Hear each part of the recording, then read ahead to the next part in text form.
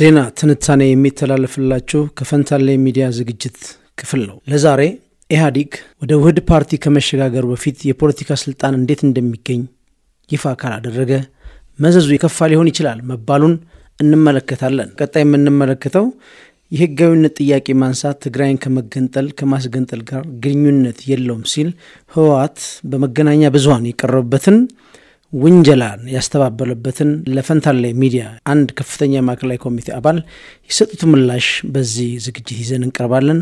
ተከታተሉን። መርጣችሁም ስለምታዳምጡን እናመሰግናለን።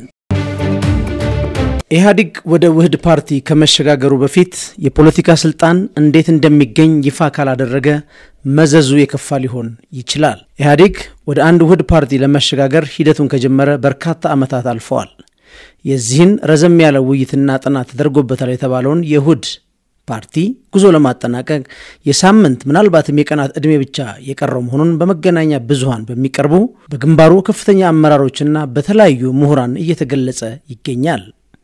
ኢህአዴግ ወደ ውህድ ፓርቲ ለመለወጥ የሚያሳልፈው ውሳኔ የአባላቶቹ ጉዳይ ቢሆንም ቅሉ ለሶስት አስርተ ዓመታት የኢትዮጵያን ስርዓተ መንግስትና ፖለቲካ ኢኮኖሚ ሲመራ ከመቆየቱ አንጻር ተጽዕኖ በቀላሉ የሚታይ አይደለም። በአብዛኛው ህዝብ የዕለት ተዕለት እንቅስቃሴ ላይ ያለው ተጽዕኖ የገዘፈ ነው።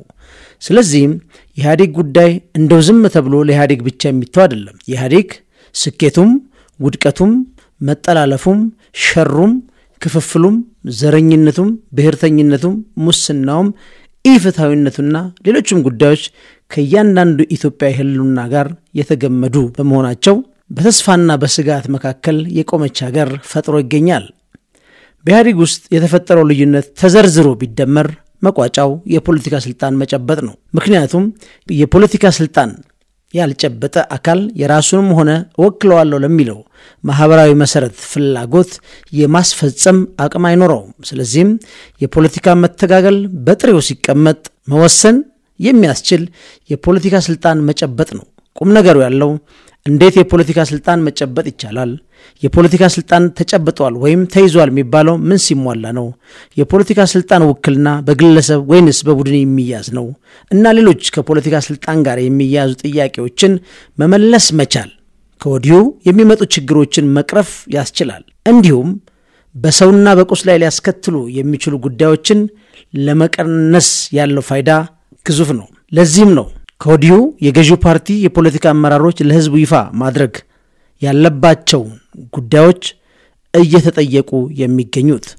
በአዲሱ ውህድ ፓርቲ ወይም በመገናኛ ብዙኃን የተሰየመው የኢትዮጵያ ብልጽግና ፓርቲ አደረጃጀት ውስጥ ፖለቲካ ስልጣን እንዴት እንደሚያዝ በማያሻማ ቋንቋ ማስቀመጥ ይጠበቅባቸዋል። ምክንያቱም የመከሩትና ያወቁት ጉዳይ ለልዩነት በር ስለማይከፍት እና ዋሽተው ወይም አደባብሰው ወደ ፖለቲካ መተጋገል ውስጥ ከተገባ በእንቅርት ላይ ጆሮ ደግፍ እንዲሉ ቀጣዩ ጊዜ ፈተና የበዛበት ሊሆን ይችላል። ከኢህአዲግ ወደ አዲሱ ውህድ ፓርቲ በሚደረገው ሽግግር በመሰረታዊነት የፓርቲውን አደረጃጀትና የአባላት አገባብና ምልመላን ይቀይራል። ይኸውም በቀድሞ ኢህአዲግ አባልነት በማንነት ላይ የተመሰረተ በመሆኑ የድርጅቱ አባል ለመሆን ድርጅቱን የቆመለትን የማንነት ማህበራዊ መሰረት አባል መሆንን ይጠይቃል። እንዲሁም በመለስተኛ ፕሮግራም ደረጃ የተዋቀሩ የድርጅቱ ግንባር አባል ለመሆን ማንነታቸውን መሰረት ባደረጉ ድርጅቶች መወከልን ይጠይቃል። ይህ ማለት በቡድን እንጂ በግለሰብ የሚያዝ የፖለቲካ ስልጣን የለም።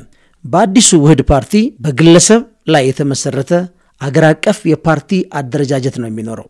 ይህ አይነት አሰራር በዓለም አቀፍ ደረጃ ከግለሰብ መብት በመነሳት ስርዓታቸውን ከሚመሰርቱ ሀገሮች ጋር ተመሳሳይነት ያለው አሰራር ነው። የፖለቲካ ስልጣን የሚያዘው ፓርቲው በሚያስቀምጠው መስፈርት በሚያሟሉ ግለሰቦች ብቻ ነው። በማንነት ሆነ በቡድን የሚያዝ የፖለቲካ ስልጣን አይኖርም። ፓርቲው አባሎቹን በግለሰብ ደረጃ እንጂ በብሔር ማንነት ወይም በህዝብ ብዛት ወይም ቀድሞ በነበራቸው የአባላት ብዛት አያውቃቸው። በዚህ አይነት ስርዓት ውስጥ ጠቅላላ ጉባኤ የማዕከላዊ ኮሚቴ አባልና ስራ አስፈጻሚ የሚመረጡት በግለሰብ ደረጃና አቅም ሲሆን ከመደብ ውክልና ጋር ተያያዥነት የለውም። የስልጣን ቦታዎች በተመሳሳይ ግለሰቦች ሊያዙ የሚችሉበት እድልም ሰፊ በመሆኑ በኢትዮጵያ ውስጥ ካለው ተጨባጭ የቡድን የፖለቲካ ስልጣን የመጨበጥ ፍላጎት ጋር እንዴት እንደሚታረቅ በግልጽነት ማስቀመጥ ካልቻሉ ወደፊት ሊያስከፍል የሚችለው ዋጋ ምትክ አልባ ሊሆን እንደሚችል በአብዛኛው ባለድርሻ አካላት ይታመናል። ስለዚህም አዲሱ ውህድ ፓርቲ የፖለቲካ ስልጣን አያያዝን በይፋ ለሕዝብ ግልጽ አድርጎ ወደ ውህደቱ ማምራት ይጠበቅበታል።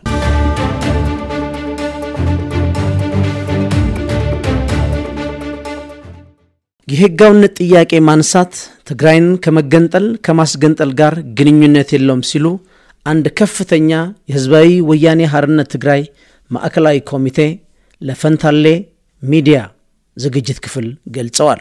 በመገናኛ ብዙሃን በመጪው ግንቦት ምርጫ የማይደረግ ከሆነ ትግራይን ለመገንጠል ህዝባዊ ወያኔ ሓርነት ትግራይ እየተንቀሳቀሰ ይገኛል ተብለው ለቀረበላቸው ጥያቄ ስማቸው እንዳይጠቀስ የፈለጉ የህወሓት ማዕከላዊ ኮሚቴ አባል ለፈንታሌ ሚዲያ በሰጡት ምላሽ በድርጅታችን በኩል በመጪው ምርጫ በህገ መንግስቱ መሰረት ሀገር አቀፍ ምርጫ ካልተደረገ ምን ሊፈጠር ይችላል በሚለው ነጥብ በስፋት መክረናል። ይኸውም ጊዜውን ጠብቆ ምርጫ ካልተደረገ የፌዴራል መንግስትና የክልል መንግስታት ያላቸው ህጋዊ ቅቡልነት አብሮ ያበቃል። ይህ ማለት ህዝባዊ ወያኔ ሓርነት ትግራይ የትግራይን ክልል የማስተዳደር ህጋዊ ስልጣን አይኖረውም። ስለዚህም በፌዴራል ደረጃ ምርጫ ለማድረግ ዝግጁነቱም ፈቃደኝነቱም ከሌለ በምን አግባብ ክልላችንን ማስተዳደር እንደምንችል መምከራችን ምን ጥፋት አለው? ያለውን ብቸኛ አማራጭ ክልላችን ውስጥ በሚገኙ የፖለቲካ ፓርቲዎች መካከል ምርጫ በማድረግ ቅቡል አስተዳደር መመስረት ነው፣ ወይም በጉልበት ህዝቡን ማስተዳደር ነው ያለው ምርጫ። ከዚህ አንጻር ህጋዊ ጥያቄ መጠየቃችን የትግራይ ክልልና ህዝብን ከመገንጠል ጋር ምን ያያይዘዋል? ቀላሉና ሁላችን የሚያስማማው የሚያስማማው አማራጭ በተቀመጠለት የጊዜ ሰሌዳ የሀገር አቀፍና የክልል ምርጫዎችን ማድረግ ነው። ምርጫ ይደረግ ማለት ለምን እንደሚያስወቅስ ግልጽ አይደለም። መንግስትም እስካሁን ባለው አቋም ምርጫ እንደሚደረግ ማረጋገጫ ሰጥቷል። ከመንግስት የተለየ አቋም አላራመድንም፣ ወቀሳውም ተገቢነት ያለው አይመስለኝም ብለዋል። በተያያዘም በወይን መጽሔት ዲፋክቶ መንግስት የሚል ጽንሰ ሀሳብ ለውይይት ማቅረብ ፓርቲው ለምን አስፈለገው የሚል ጥያቄ ቀርቦላቸው የሰጡት ምላሽ አሁን በሀገራችን ውስጥ ያለው የፖለቲካ ዳይናሚዝም ባልተጠበቀ ወይም ባልተገመተ ሁኔታ ከሄደ እንደ ክልል ለሚፈጠሩ ሁኔታዎች ምላሽ ለመስጠት ዝግጁነት እንዲኖረን መስራት እንጂ ከመገንጠል ከማስገንጠል ጋር ምን ያገናኘዋል? በነገራችን ላይ ዲፋክቶ መንግስት በህግ ወይም በፖለቲካ ሳይንስ ማጣቀሻ ሰነዶች በግልጽ ተብራርቶ የተቀመጠ ሀሳብ ነው። የእኛ ድርጅት የፈበረከው ሀሳብም አይደለም።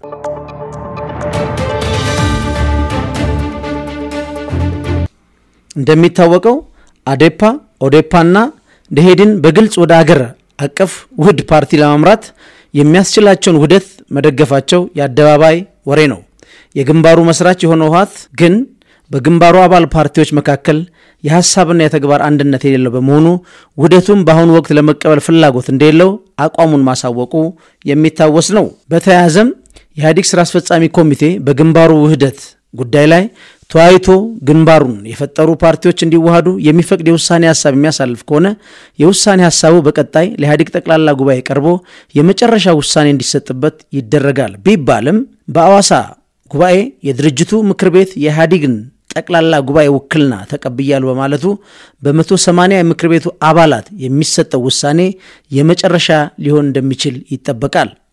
ኢህአዴግ ግንባርነቱን አፍርሶ ከተዋሃደ መዋሃድ የሚገልጹ ማስረጃዎችን በማቅረብ አዲሱን ውህድ ፓርቲ በምርጫ ቦርድ ማስመዝገብ የሚጠበቅበት በመሆኑ ይህ ሲሆን መንግስት ሆኖ የመቀጠል ህጋዊ አሰራሩ በግልጽ የተቀመጠ ነገር የለም። በአዲሱ የምርጫና የፓርቲዎች ምዝገባ አዋጅ መሰረት ውህድ ፓርቲውን ለማስመዝገብ ከሚቀርቡ ሰነዶች መካከል የሚዋሃዱት ፓርቲዎች በተናጠል ጠቅላላ ጉባኤያቸውን ውህደቱን ተቀብለው መወሰናቸውና የግንባሩ ጠቅላላ ጉባኤ ውህደቱን ፈቅዶ ስለመወሰኑ የሚያስረዱ ሰነዶች ማቅረብ ይጠበቅባቸዋል። በውህደቱ ያልተስማሙ የግንባሩ አባል ፓርቲ እጣ ፋንታ ምን ሊሆን እንደሚችል የታወቀ ጉዳይ የለም። እንዲሁም በውህደቱ የማይስማሙ የፓርላማ ተመራጭ የሆኑ አባላት ቀሪ የምርጫ ዘመናቸው ምን እንደሚሆን ማብራሪያ የሚሻው ጉዳይ ሆኗል። ምክንያቱም የመንግስት ስልጣን የጨበጡት ኢህአዴግን በመለስተኛ ፕሮግራም በማዋቀር በመሆኑ ነው።